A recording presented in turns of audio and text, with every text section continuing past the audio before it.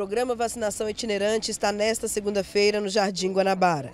Quem estiver apto a receber a vacina contra a Covid-19 tem até às 5 horas da tarde para receber o imunizante, que está disponível para todas as doses. Porque às vezes a gente não tem nem condição de ir, o trabalho, que está pertinho, né, onde a gente mora. Eu estava esperando para tomar a terceira dose, o meu já até passou do dia.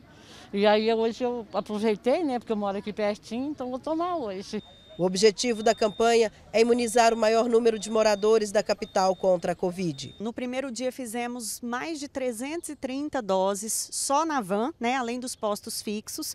E hoje, como a gente pode ver, já tem aqui uma fila que está buscando.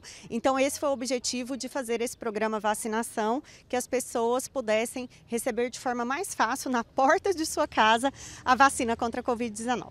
Cumprindo o objetivo de levar a vacina mais perto da população, o segundo dia do programa Vacinação Itinerante teve grande procura. As pessoas podem tomar primeira e segunda dose e dose de reforço. E olha que realmente tem gente que nunca tinha se vacinado. Eu nunca tomei nenhuma.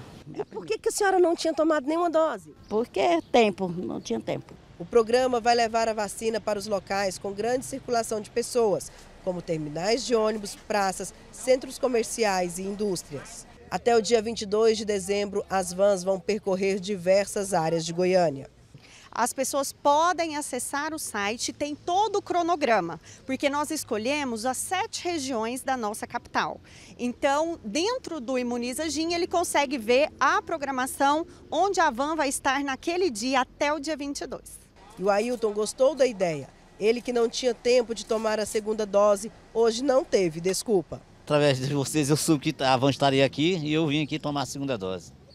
Achou legal essa, essa atitude da, da, prefeitura levar a vacina até pertinho das pessoas? E muito, porque a gente está corrido, né, trabalhando e a atitude é excelente.